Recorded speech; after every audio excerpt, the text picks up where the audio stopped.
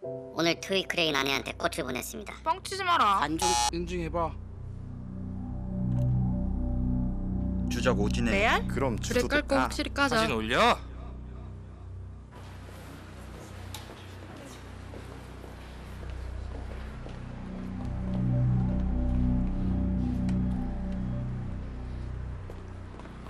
아, 쓰레기 버리러 나오셨.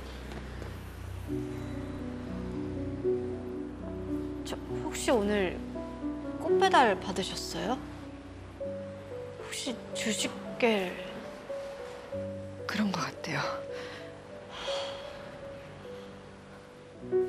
아니 왜? 지들 뭔데? 야 그게 어떻게 가능해?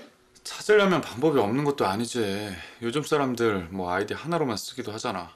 아이디나 이메일로 포털 사이트 검색해 보면은 쇼핑몰 쇼핑 내역이라든지 질문 내역이라든지 게시판에 글 쓴 거라든지 뭐 이런 게 다 나오기도 하거든. 하, 뭐 무의식 중에 글 쓴 게 거기서 뭐 개인 정보 유출이 됐을 수도 있고 예전에 PD님이 주식갤에 올리셨던 글들도 힌트가 될 수가 있고요. 뭐 그런 게 아니라면 아, 이게 불법이긴 한데 IP 추적해서 누군지 알아내는 방법도 있거든.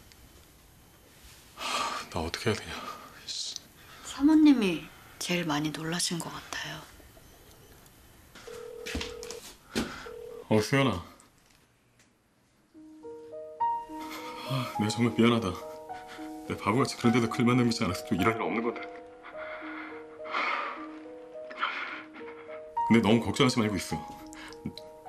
아무 일 없을 거야. 내가 다 알아서 할 테니까 준수 어떡해. 내가 잘못한 거니까 나는 손가락질 받아도 돼. 근데 준수 우리 준수는 안 돼, 여보. 준수 안 돼. 아니야 아무 일 없을 거야 중수한테도 너한테도 아무 일 없을 거니까 내 약속할게 알았지? 어? 걱정하지 마